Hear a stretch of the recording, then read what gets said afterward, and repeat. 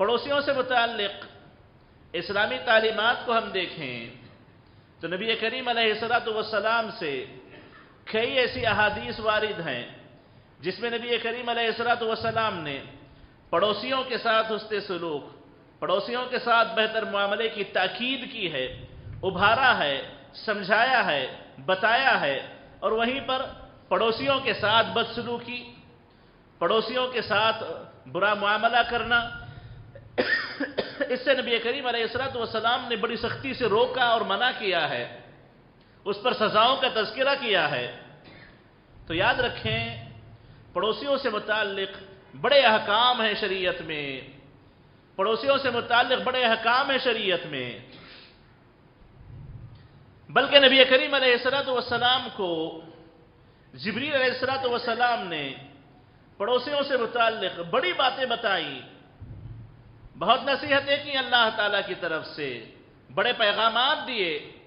तो नबी करीम सलाम कहते हैं कि नबी करीम सलाम को जबरील ने इतना बताया इतना बताया इतना बताया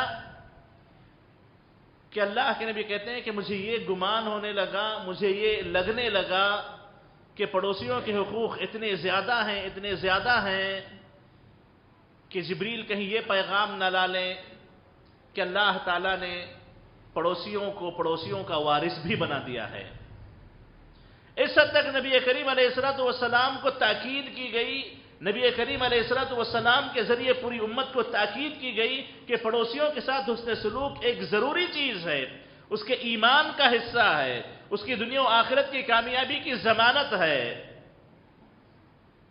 हत्या वरन तो वर्रे तो कहते हैं, अल्लाह के नबी कि मुझे ये गुमान होने लगा कि कोई हुक्म आ जाएगा कि अगर किसी का इंतकाल हो जाए तो उसकी बीवी को इतना हिस्सा मिलेगा, उसके बेटों को इतना हिस्सा मिलेगा, फुला को इतना हिस्सा मिलेगा और पड़ोसियों का भी इतना हिस्सा है। पड़ोसियों को भी इतना देना पड़ेगा। कहीं यह हुक्म ना आ जाए, मुझे इसका डर लगने लगा। इस हद तक जीबी असरत वसलाम ने पड़ोसियों से मुतल मुझे ताकीद की, उम्मत को बताया। और यकीनन हम एक माशरती ज़िंदगी गुजारते हैं, हमें पता होगा, हमें पता होना चाहिए।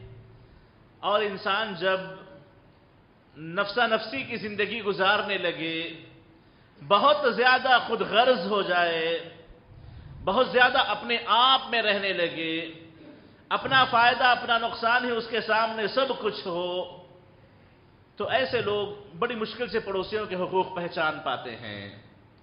पड़ोसियों के बड़े हकूक़ हैं नबी करीम सलाम ने एक मरतबा सहाबा के दरमियान कहा कि वल्लाह ला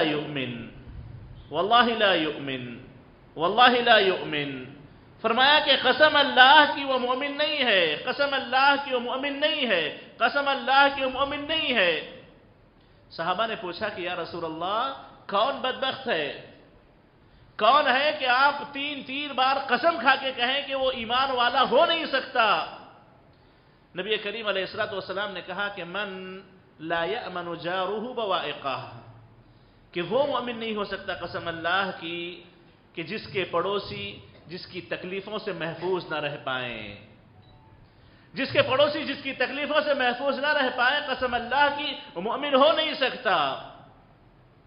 तो मजद हाजरीन नबी करीम सलाम ने इस हदीस में इस बात की वजाहत की है कि अगर किसी पड़ोसी से किसी पड़ोसी को तकलीफ़ पहुँचती है, अगर आपका पड़ोसी आपसे तकलीफें उठाता है, आपकी वजह से उसे मुसीबतें उठानी पड़ती हैं, उसे सहना पड़ता है, बर्दाश्त करना पड़ता है तो ऐसी सूरत में अल्लाह के नबी की जबानी कसम अल्लाह की आप मोमिन नहीं हैं।